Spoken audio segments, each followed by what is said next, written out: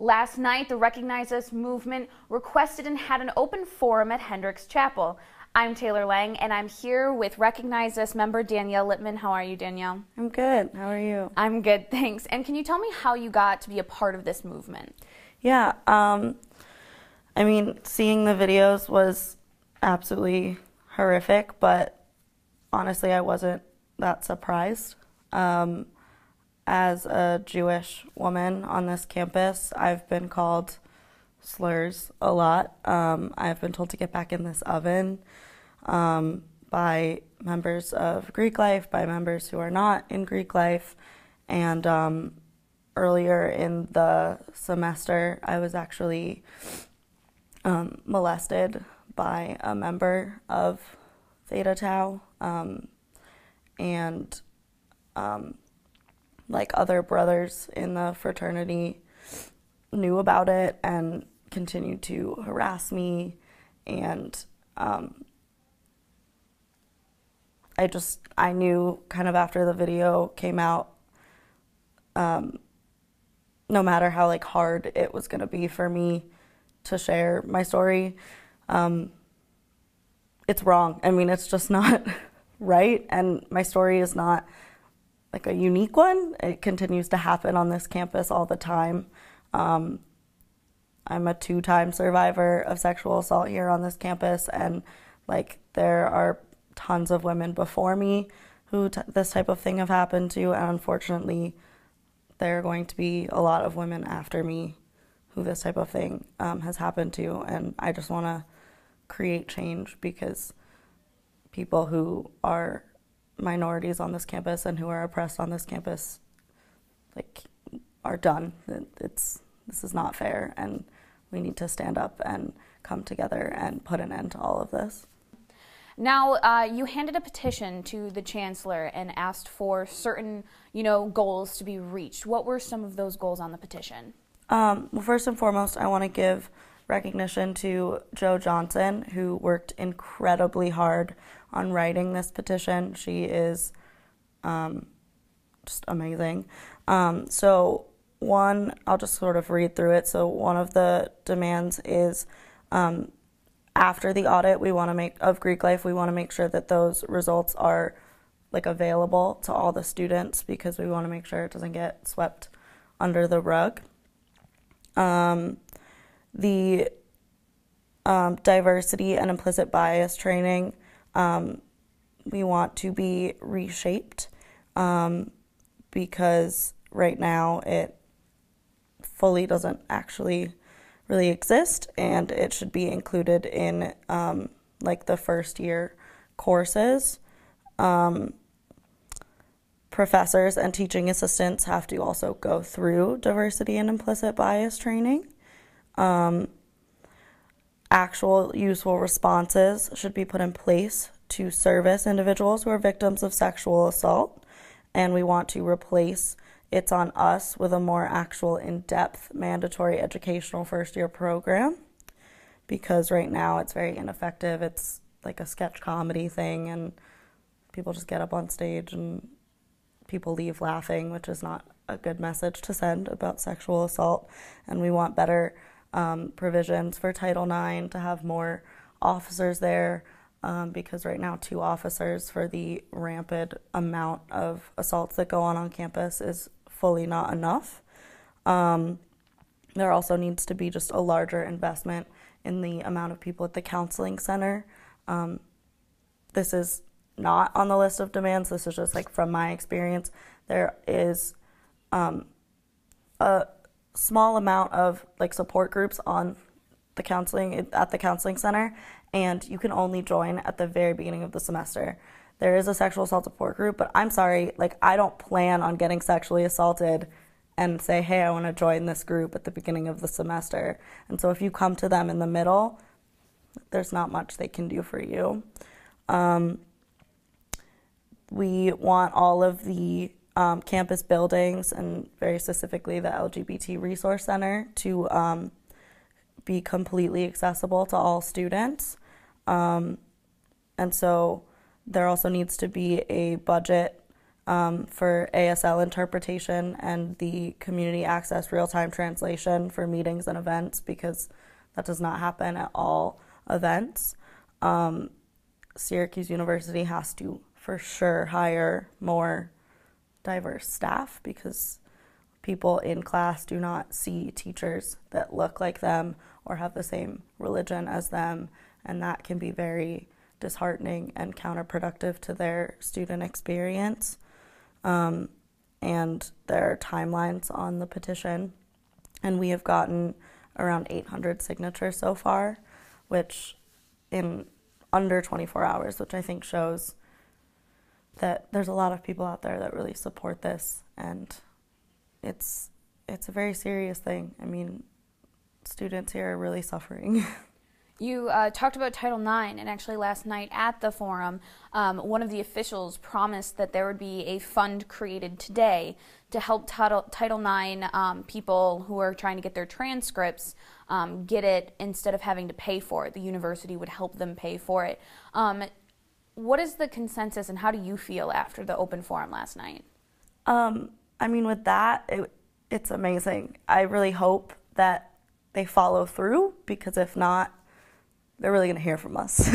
um, if that happens, I think it's really going to help a lot of people who are struggling because it's hard enough and takes so much bravery and strength to go to Title IX and to tell your story and to get the protection and the help that you need.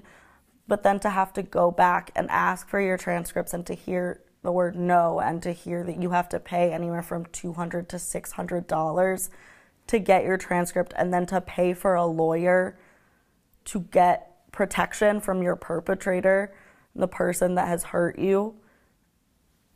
It's horrifying. It's disgusting and I just can't imagine like how the university could do that to you and they're supposed to be protecting you.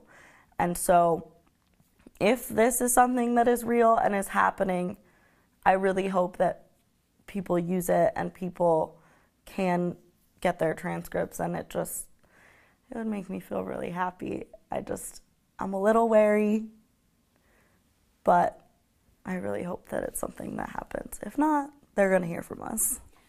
So now you talked about how they have to go and hire an additional lawyer on top of, you know, getting their transcripts and paying for that. There are lawyers available for students for free at Syracuse, um, but they cannot access them. Why is that? If you are um, sexually assaulted or in a um, violent relationship with a student here on campus, you can't use the lawyer here on campus because that could be, in theory, like a conflict of interest because then that other student wouldn't be able to use that lawyer. And so you need to go out and hire your own lawyer, which can cost up to $100 an hour just to talk, not even to use them in court. I'm already a student. I don't have really the time. I don't have a car. I can't go off campus to find a lawyer. I don't have the time. I'm studying. I barely have the time to deal with the trauma of sexual assault or relationship violence.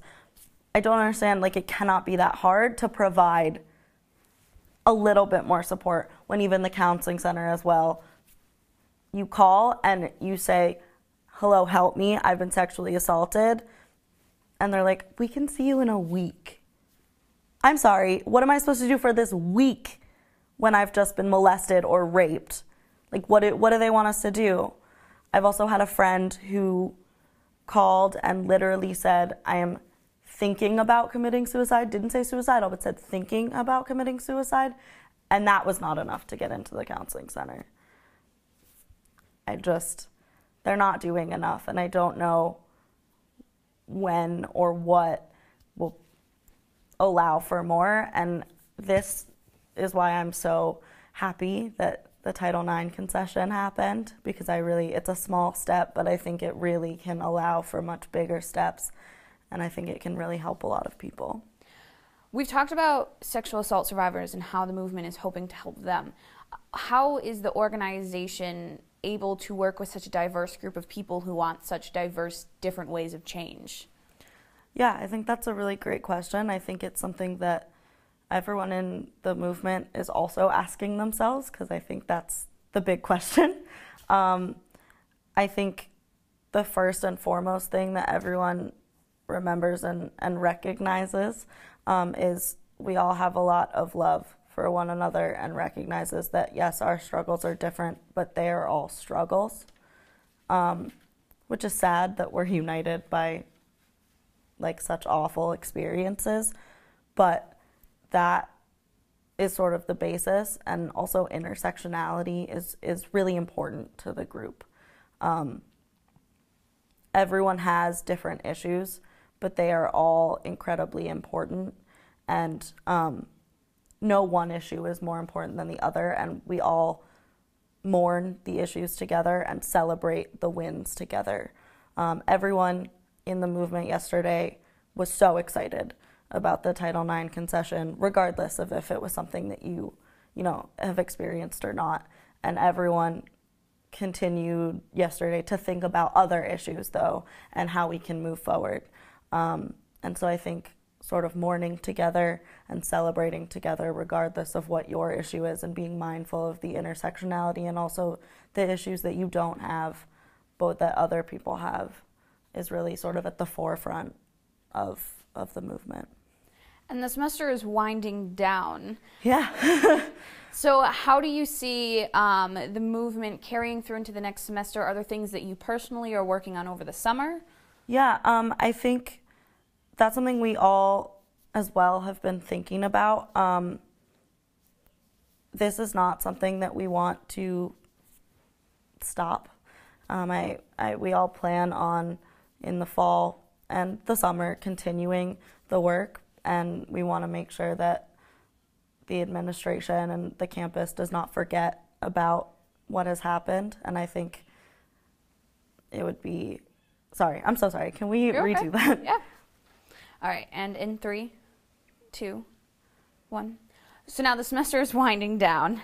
Um, how do you see this movement carrying out throughout the rest of the semester, um, over the summer, and into next semester? What are you personally doing over the summer?